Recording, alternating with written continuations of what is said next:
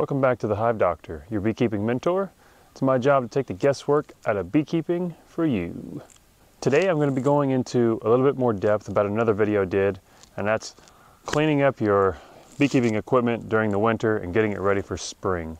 In the previous video, I showed scraping the boxes and frames a little bit, but today's there's going to be a lot more in depth because I've got a lot more equipment to clean up and there's a lot more burr comb wax buildup. I'm going to show you how to collect that while you're cleaning things up and exactly what to do, what surfaces to clean, what not to clean, and how to save that valuable beeswax instead of throwing it away.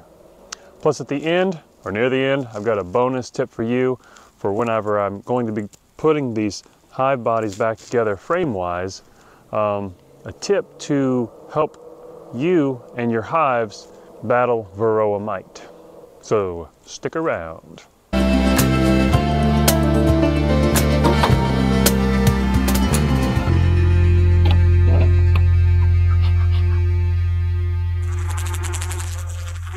So the first box I'm cleaning up today has a lot of burr comb on the bottom bars of the box. I've got this deep hive body set on end because I didn't want to crush all of this good beeswax. Right now it's cold outside and beeswax is brittle in the cold. So in the warmer weather, it's quite pliable and it wouldn't be a big deal. It's more like putty. So I'm going to show you how to clean this. You don't have to take the frames out to do it. In fact, what you want to do is take your hand and put it on the top bar against the frame that you're going to be working against to help keep the frame in place. And you're going to take the wide flat end of your hive tool and start at the top and start scraping your way down. But before you do that, I really recommend that you do this on a surface where all of the beeswax that you scrape off will be able to fall onto and you can collect. Don't do it out on the ground or you won't be able to, to keep it and collect it and use it later. In my case, what I'm doing is I'm using my bed slide. I'm just gonna scrape all of the beeswax from these boxes I'm cleaning today right into the bed slide and I'm gonna sweep it up into a five gallon bucket so I can melt it down later. So, starting this process, I'm gonna start on this end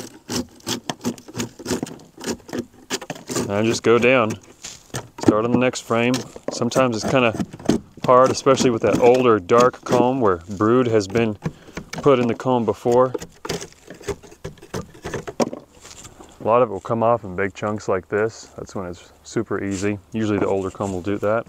New comb kind of crumbles and is even more brittle. But this is the first step in getting this weird burr comb extra buildup beeswax cleaned up so that you can actually start to clean up each frame individually. So when I'm finished this, I'm gonna scoop all of this beeswax into a five gallon bucket, like I said.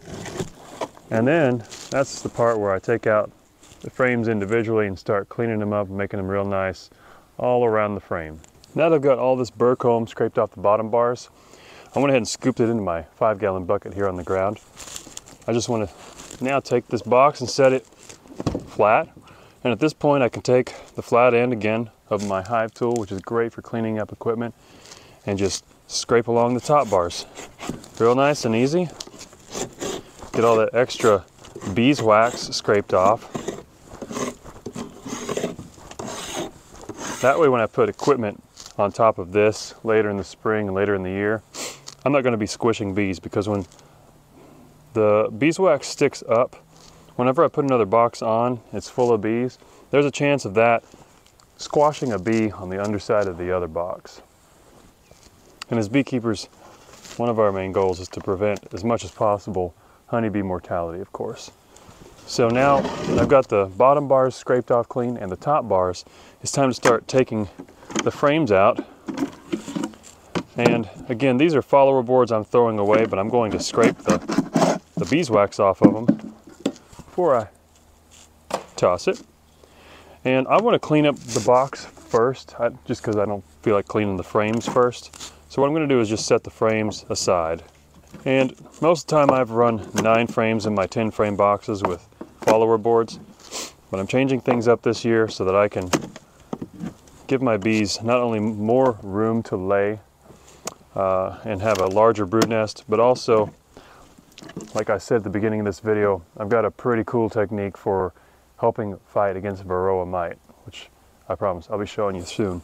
Now that I've got my deep hive body empty, and this is the same for honey supers, any box, um, what you want to clean up first is to make sure that these frame rests are clean. And that's one of the things we went over in the first video about cleaning up equipment. And this isn't beeswax. In the frame rest, this is going to be propolis. That's that resinous material that honeybees gather so they can glue things together. And this is actually easier to clean in the cold weather because the propolis and the beeswax are so brittle. It comes off the box is much easier. All right, so I've got the frame rests cleaned up and they're ready. Now I'm gonna take the hook end of my hive tool and uh, start pulling towards me on all of the edges of the box, top and bottom.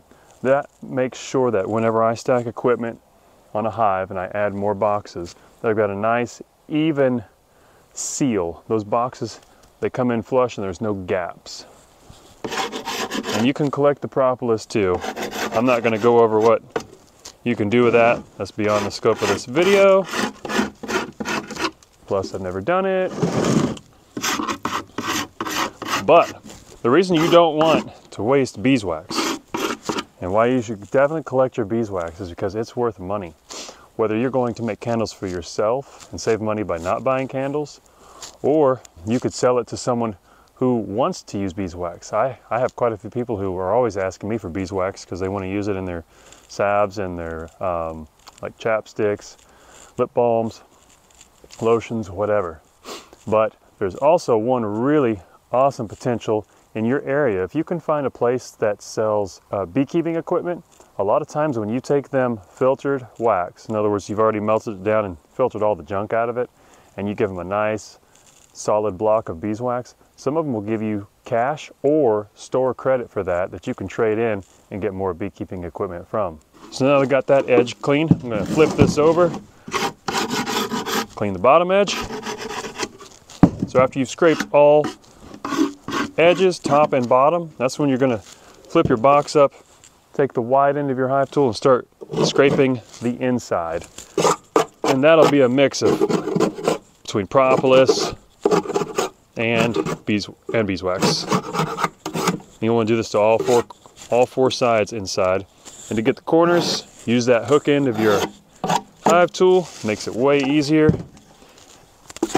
We're almost done with this box and it'll be cleaned up and ready for putting frames back into. So at this point, I can just clean one frame at a time. As soon as it's clean, put it right back into the deep hive body. And you can be as meticulous as you want to with this kind of job. Totally up to you. So I haven't cleaned my deep hive body frames yet, and I will. But just to give you what I told you I would in the beginning of the video, I want to show you a way to help control varroa mite in your colony. What I'm going to do is first put a deep hive body frame on the outside. Then I'm going to take a medium super frame and put it as the second frame in. And I'm going to do the same on this side. It's going to get that outside deep hive body frame fully drawn. And then another medium honey super frame as the second frame in. The rest of this will be filled with deep hive body frames. And these two frames, second in, will always be medium honey super frames. And I'm going to tell you exactly why. So the reason I'm putting these medium honey super frames in my deep hive body boxes for controlling varroa mite. First off, have you ever seen those green frames? They're the same size as a deep hive body frame, but they're green and they're made for drone comb. And the idea behind those is that you put it in the hive, the queen lays it full of eggs, and because varroa mite develop more fully and more prolifically proliferously, prolif yeah, there's more of them. On drone brood, because drone brood takes longer to incubate and therefore mature into an adult bee, varroa mite has a lot more time to develop and increase its population as well. So the idea behind that green frame, which I'll try to find a picture of for you, is to take out of the hive at a certain time and put it in the freezer and freeze the drone brood, but the varroa mite along with it. So you're greatly and drastically reducing the varroa mite population. Well, that's great and it does work. Um, but there's another way you can do it without spending that money on these green drone frames, which eventually warp anyways because they're plastic. They'll warp and they won't like fit back straight into the hive body box again. So bees love to make, take empty cavities and build more beeswax into it. So when I put this kind of frame in a deep hive body box, I've got a gap at the bottom because it's not as deep as the box is. And the bees are going to build extra beeswax on the bottom of this frame. Very much so like this. It'll just look like an extra strip of this beeswax all the way across the bottom frame. And for some reason when the bees do this, it's generally drone comb. And so the queen's gonna lay this on the bottom of this frame full of drone comb. So every time I come into the yard, the, the, my apiary, during a hive inspection, I will remove these two frames and find that comb that she that's that the bees built up along the bottom here, and I will scrape it the way I showed you in the beginning of this video. I'll scrape that right into a five gallon bucket. And because I'm doing that, I'm getting rid of all the varroa mite from the hive that are in that drone brood, plus I'm collecting valuable beeswax at the same time. So the reason I put these in the second frame in is because bees need that straight structure that we give them as beekeepers to build nice and straight and even. If we didn't have any frames in here, bees would still build comb in here, but it would be all crisscrossed and connecting together, and we couldn't do anything with it. So by putting this in the second frame in, I'm allowing the outer frame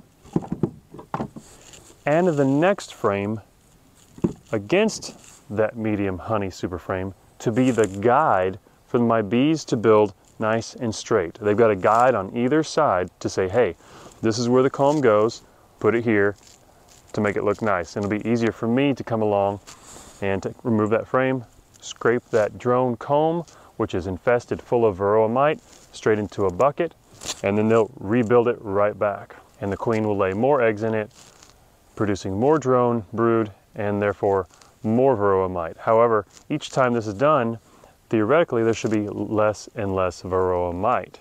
Now this is just one of four ways that I implement a varroa control program. And that's the one that, this is the only one I'm showing in, you in this video today. The others are, are coming in, in future videos. They might already be out. To recap with today, clean up your boxes, get them ready for spring, save that beeswax, don't get rid of it. And I recommend trying this method of uh, just one way to control the varroa mite count in your beehive. So let me know what you think about this. Comment below, drop me one of these, and uh, subscribe. Tell your other beekeepers friends about the Hive Doctor. Thank you, and I'll see you next time. As always, thank you for watching. To my apprentices, don't forget to drop me one of these. Check the description and the links below for the tools and equipment and gear that I use. And don't forget to subscribe.